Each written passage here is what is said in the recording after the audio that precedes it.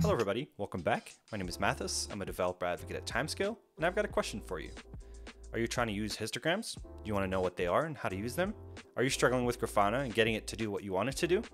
Then you're in the right place. So this is the first video in a multi-part series about Grafana visualizations. We'll walk through the basics of histograms, what they are, and how to use them. If you're new to our channel, we are Timescale, the makers of Timescale DB, the world's best relational database for time series data, built on top of Postgres. So if you already know Postgres, you know Timescale.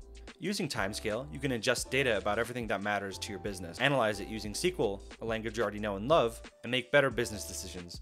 In Grafana, we can use three types of data to plot a histogram. Raw data, aggregated data, and pre-bucketed data. In this video, we'll go over the first two, raw data and aggregated data. If you want to follow along, there will be a link in the description to our documentation with some extra examples and helpful tips. Let's get started. So we have a brand new dashboard here. Let's first add a new panel. And then right off the bat, let's change our panel type from time series to histogram. And it's right here, still in beta as you can see. Then we want to change our data source from Postgres to, you know, from the default to our stocks. That might be your default, uh, depends. And then we're going to edit our query here, which is this one. So take some time to copy it over. We select the time and price from our stocks real-time table, where the symbol is equal to uh, our variable symbol, which we don't have yet, but we'll get to that later. And the time is greater than or equal to the time from, and the time is also lesser than uh, the time.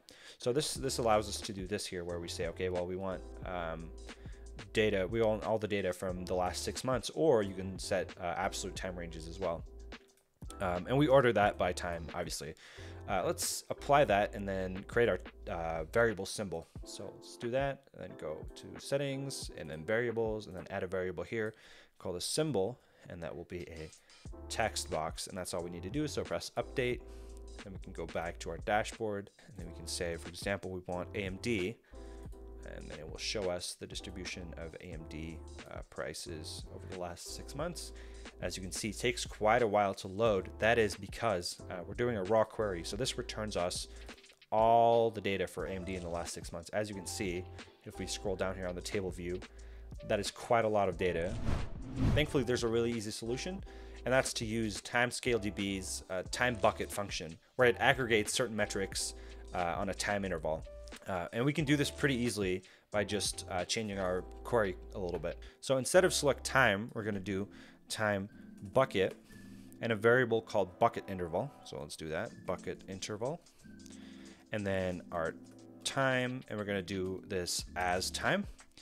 And then uh, price, obviously this is a single metric, but we can't use that in an aggregate. So we need to aggregate this. So let's say average price. Then we, instead of order by, we want to group by. We want to group by the same time bucket function. So let's say time bucket, and then again, our bucket interval and time. If you want to learn more about this, there's uh, plenty of documentation on the timescale docs. There will be a link in the description to this documentation. Go to our settings, create a variable here, click on new, and call this bucket interval. And the type is an interval here. If we reload our panel here, we should see the query uh, execute.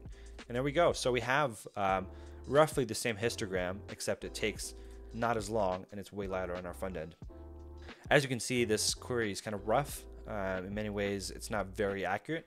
Uh, we can change that by playing around with the bucket size. On the right here in the panel options, you can see uh, under histogram, you have bucket size.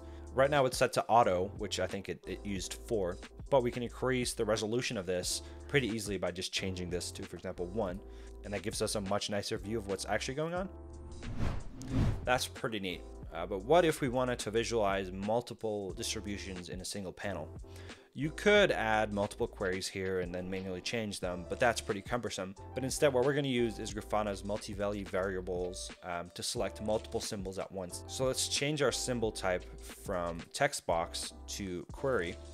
And we're going to query the stocks database. And we're going to query for all the different companies in our database. Thankfully, we have a special table for this called company, which has all the companies in them. So we're going to do select distinct. So we only get it, uh, get each uh, stock once. Uh, symbol from uh, company, our company table, um, order by symbol ascending. This is to get them alphabetically. Um, and then here we go. You see all the values. But one important option here is to click uh, multi-value so we can select multiple at once. And this will allow us to have multiple distributions in the same panel. So press update and then we can go back to our panel here. And then to be able to use this, uh, we need to change um, a couple lines here. So instead of just selecting the time and price, we also need to select the symbol. So let's do that here. We don't need to aggregate over this because the symbol will be used as a column instead. And then instead of where symbol equals symbol, we need to change this to where symbol in and then braces symbol like this. And then at the end, instead of just grouping by the time bucket, we also need to group by the symbol like that. And then actually right here, we can do as price just to make it a little more clean. And then we should run this. And then here we see the uh, price distribution of Apple. Now, what if we want to use another stock here? Let's go into uh, AMD and let's say uh, Facebook, for example. And there we go. So we have all three distributions, but we have no idea which one is which. So we're going to change the color of these to make it a little more clear. Apple is purple, AMD is red, and Facebook is blue. So there you have it. I think this shows what you can do with histograms inside Grafana. Three distributions in a single panel. If you like this video, please feel free to hit the like and subscribe button to stay updated for the future videos about Grafana and other timescale videos. And we'll see you in another video.